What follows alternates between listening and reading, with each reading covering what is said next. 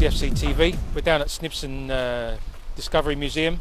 I'm with Phil, and we're going to talk about the midfield and who's going likely to start in the big opener against uh, Everton on Saturday. So Phil, let's start wide, shall we? Where, where are we going? Well, I think Mahrez is going to start. Okay. I think he's going to be exciting. I think he's going to tackle some of those uh, Premiership defences. I think he's going to really relish Yep. it and enjoy it. Yeah, ghosted, he, he ghosted around at the weekend against Werder Bremen. Yeah. Went round a few players with uh, consummate ease.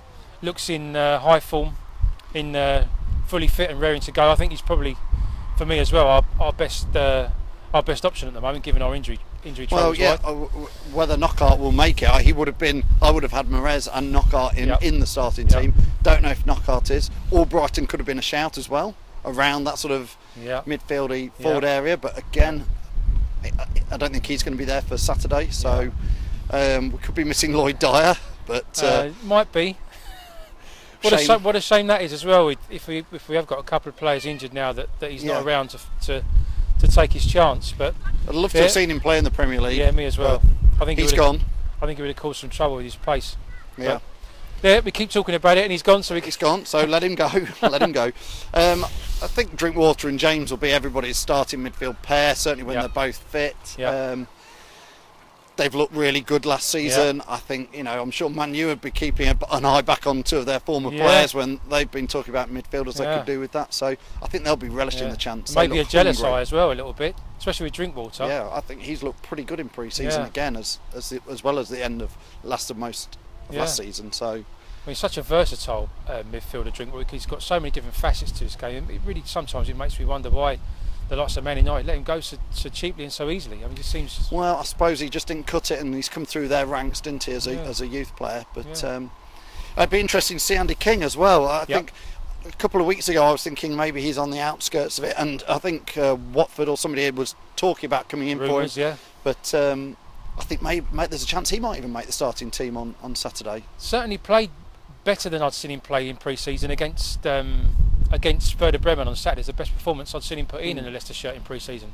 Again, when we're playing defensively, he could be that player who who links between the midfield and the attack at times. I Yeah. mean, we've seen him score many great goals, Yeah. breaking forward. Yeah, and and I mean another another possibility is if we play the the four two three one formation, which which Pearson was dabbling with Yeah. at the end of last season, then you're looking at probably Drinkwater and James playing in front of the the back four, um, and then in front of that with the three, maybe King could could slot in there. Yeah. even.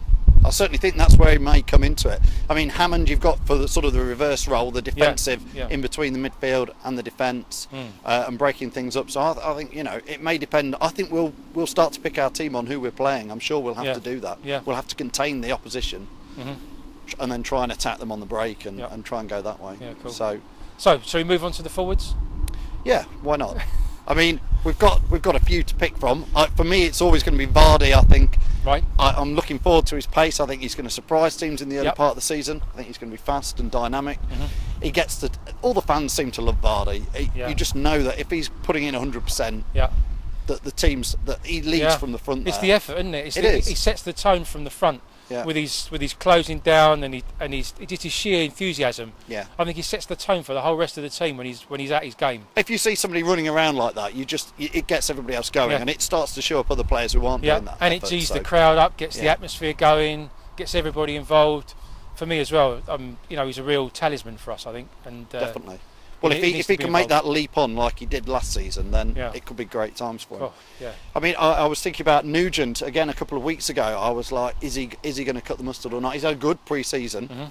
Scored that sublime uh, goal against Oh, Warsaw, wasn't it? absolute cracker, the outside of his foot. Yeah? Yeah, real Blind. Bobby Dazzler, as Yeah. say. So that was superb. Uh-huh. I, I think maybe he'll be in there in the starting lineup. I, Yeah. I, I think Pearson will probably start with a lot of the players who got him up last Uh-huh. season.